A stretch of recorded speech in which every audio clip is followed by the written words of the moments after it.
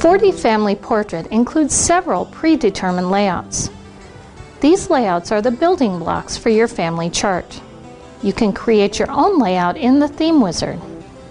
Use a simpler layout for larger families to make a simple chart, or include frames and flourishes for a, a more intricate family chart. The descendants of David Taylor, you can see we've actually used different frames for the male and for the female. The same family, what you can see is there are different frames, but also different colors in the stitching. We've also been able to use the printer fabric that you can use with your sewing machine to sew on an applique of photos of the family.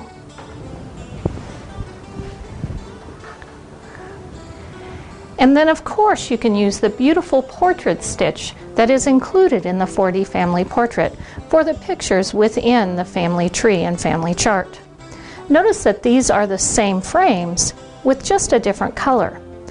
Also, there's a background image that can reflect your family history. There are also other ways to make your layout theme. This one happens to be in a fan, again, with different types of frames as well as your connection points. Let's go ahead and work on and see how we actually make that sort of layout. I'm going to start in the theme wizard and with the theme wizard simply click here what you'll find is here are the system themes. There are 12 system themes that are included and then there are my themes where you can create your own. Let's click next and see there are different chart types. You can see on the right hand side that there are descendants, ancestors, hourglass, or a complete family. With the complete family, this is where you might want to choose and use appliques or put them in a quilt.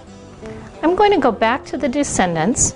You can see the number of generations as well as the different types of fans and vertical and horizontal layouts.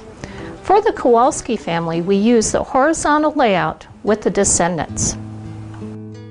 Click Next, and we now can choose the fonts for the different names of the people in our family chart. You have many different fonts to choose from. There are 12 that are included with your 4D family portrait. If you have other 4D modules, you can choose some between those fonts as well. I'm going to use the camera to go ahead and see what my fonts look like before I actually choose them. Using the up down arrow keys on my keyboard, I'm going to go all the way to the bottom and I'm actually going to choose the Nimbus font and it says that in the bottom left corner of your font view. So with the Nimbus font chosen, you can use an underline flourish, and there are three different styles or three different categories to choose from.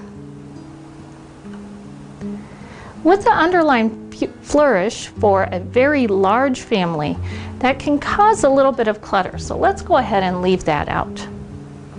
Let's click Next and continue creating our theme or our layout. For different facts that are actually going to be shown, you can choose your font style as well. And what this actually means is if you want to put in your birth date, your death date, the marriage dates, today we're going to choose none. Again, large families, it's a little bit trickier to have all of that information. Let's click Next. And if you have pictures for each individual that were created in the portrait stitch, you can choose this at that time. You can also put a frame around individuals. Smaller family trees, this looks lovely.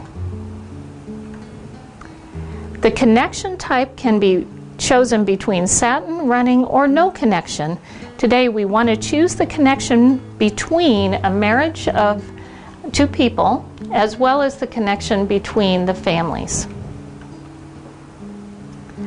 And last but not least, we want to put the top at the top a title of our family. In this case, it's going to be the descendants of Beryl Kowalski. I'm going to choose the Corinthian font, click Next, And here's where you can choose your background if you wish. So I'm going to enter the theme name to be Kowalski and click Finish. And now I have that theme already made so I can make the beautiful family chart that you saw when we first started this video.